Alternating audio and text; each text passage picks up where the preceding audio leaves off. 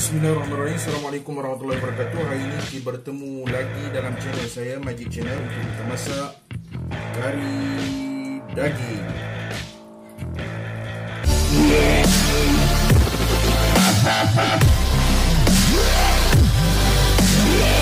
Baik, untuk bahan-bahan yang pertama adalah daging uh, Lebih kurang dalam 1 per 4 kilo.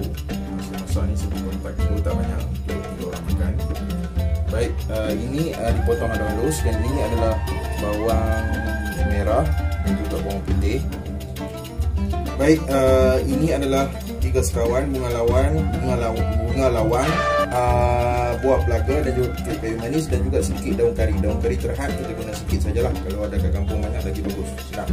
Ini adalah santan, santan pekat, uh, lebih kurang dalam dalam setengah biji kelapa lah kalau kat Malaysia. Kalau nak pekat lagi boleh tidak menjadi masalah. Ini adalah uh, kari, uh, kari yang dicampurkan dengan uh, krisik kari dalam 3 sudu ikutlah kalau nak pedas boleh lebih dan juga krisik lebih kurang dalam 2 sudu campur-campur dengan air untuk kita gaulkan. Ini adalah serai, lengkuas dan juga halia di blend sekali. Ok, ini adalah lebih kentang. Kalau siapa tak minat lebih kentang tak boleh letak kalau siapa minat lebih kentang boleh letak ok baik, kari ini adalah kari uh, turun-temurun kalau dulu kita pakai kari giling. Uh, yang daripada zaman tok-tok dulu, zaman mak-mak kita dulu kita pakai kari giling lebih sedap lah. Tapi sekarang semua dah ada yang dah proses kita gunalah. Kalau ada kari cili apa kari giling tu lebih sedap ok okay, yang pertama sekali kita masukkan sedikit minyak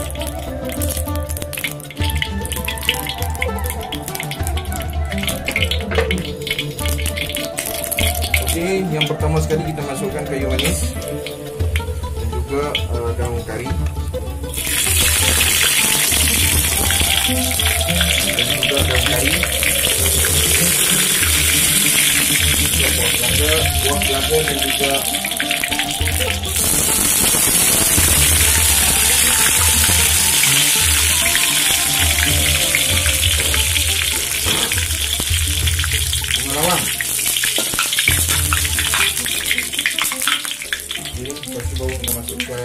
kayu manis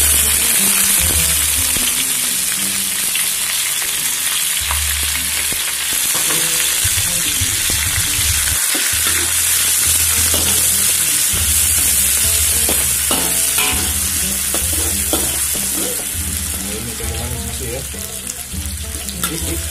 Kayu manis Mesir.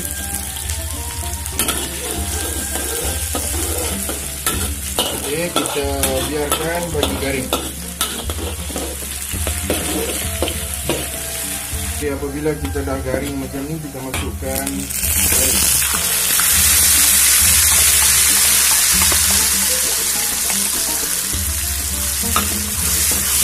Seterusnya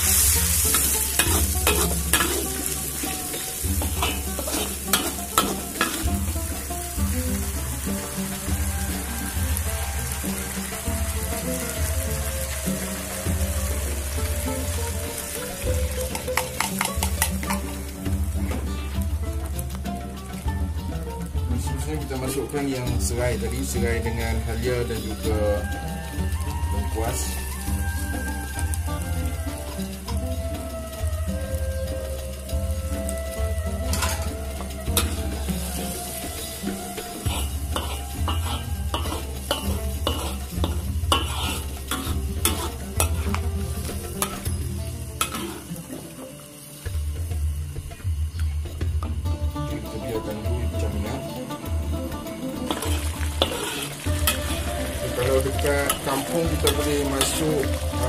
Pisang yang kat tengah batang pisang tu kita boleh masuk.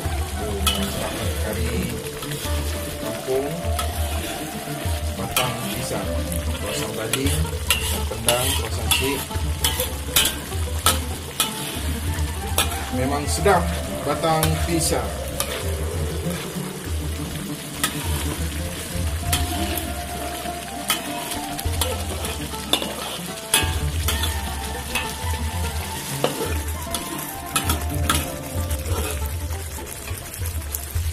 Okey, dia nampak dah pecah minyak Kita masukkan daging tadi.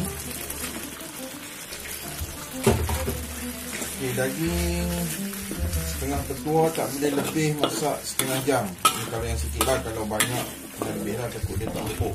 Uh, Kalau lebih setengah jam, takut dia keras. Wallahualam Wallahualam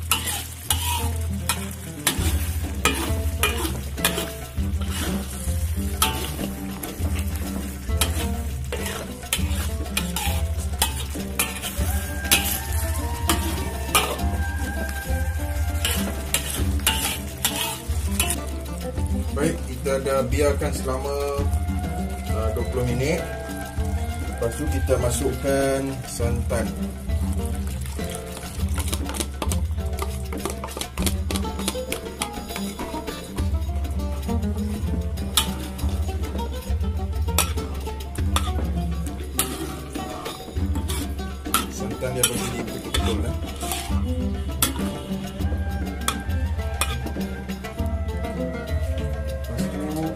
Masukkan ubi kentang.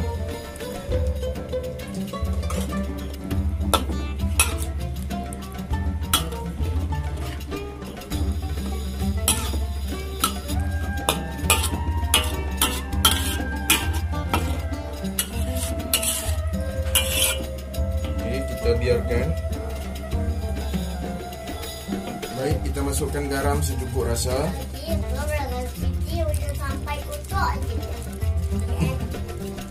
Mamak duduk kat belakang. Mamak. Mana makan? Mama nak makan. Kita masukkan apa Muhammad? Gula. Saya nak masak gula. Sedikit saja sebab oh, sebenarnya kedah tak masuk gula. Sedikit saja. Sikit ya.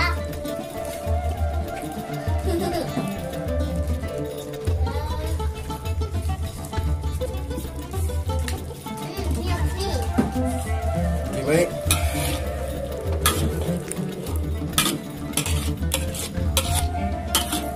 Tapi kalau kita nak, cepat mempuk daging, kita boleh apa nama rebus dulu daging dan juga ubi kentang. Kalau kita nak masak macam ni pun boleh sebab dia fresh kan sangat. Okey. Siap kari daging resipi tok dan juga bonda. Apa dia? Lepas Muhammad. kata. Sedap tak kari Abi masak? Eh, dah siap. Kita nak apa-apa? Kita siap. Ambil dah siap. Okey, kau pergi. Kalau makan, pergi. Jom kita makan. Jom nak makan.